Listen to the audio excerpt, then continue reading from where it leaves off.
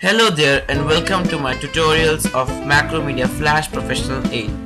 In this video we must talk about the various tools present on Mac Macromedia Flash Professional 8. So let's start off. So um, this is a selection tool. We can select various things using this like I made that circle and I had selected it. So this was a selection tool.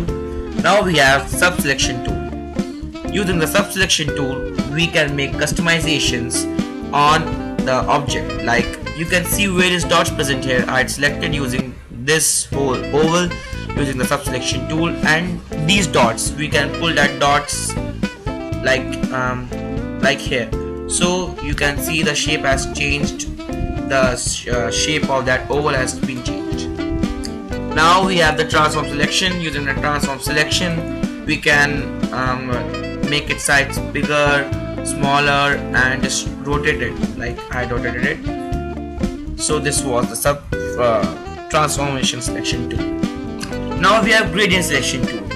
This tool is used for gradients. Like I had made that gradient circle see gradient is the blend of two colors like you can see red and black here so using the gradient tool I can um, make its position anywhere and I can rotate it and uh, do many things related to it. So this was the gradient selection tool.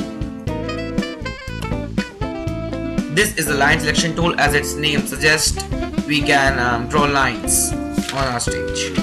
This is the lasso tool. Lasso tool is used for um, making free selection on our stage like I made that circle. Now I can freely select this circle. In the selection and sub selection tool you select only in rectangular or in a square way. So this was the lasso tool.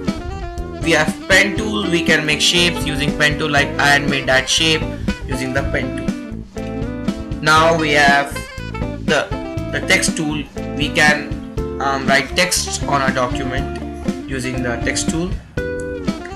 Now we have the oval tool. Using the oval tool we can make circles and ovals as its name also suggests only.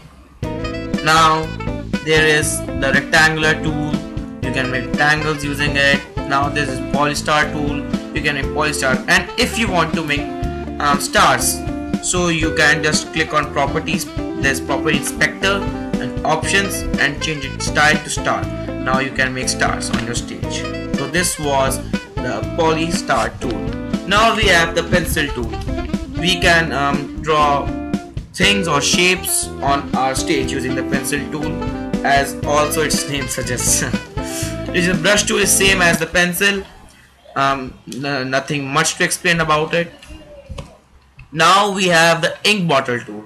Ink bottle tool is used for making borders of uh, um, of our object. Like I selected this border, and if I click on it, you can see that border has been changed to green, dark green. So this was our ink bottle tool. Now we have fill tool. Using the fill tool we can fill in various things. Then I can select color and filled. So this was the fill tool.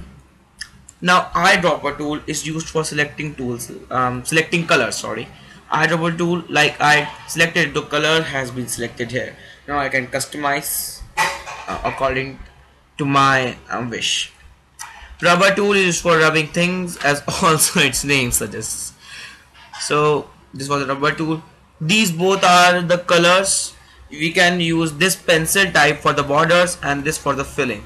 So this was the basic introduction of tools in Macromedia Flash Professional 8 you may see that this video is boring but uh, good for beginners. Okay bye bye and have a nice day